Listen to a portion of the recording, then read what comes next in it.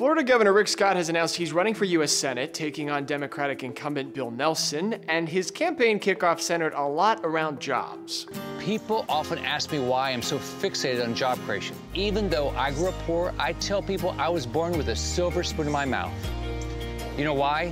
Because I grew up in America, the land of opportunity. Scott is, as he has before, running on a jobs platform. He touts 1.5 million jobs added in Florida since he took office. But it's important to keep in mind that the hike coincides with a national economic recovery, and Scott is still 200,000 jobs short of the 1.7 million job goal he set coming into office. The race is said to be a closely watched litmus test of sorts for what an alliance with President Donald Trump will mean for Republicans running for congressional seats this year. Scott is an ally of the president who rarely and only slightly distances himself from the commander in chief.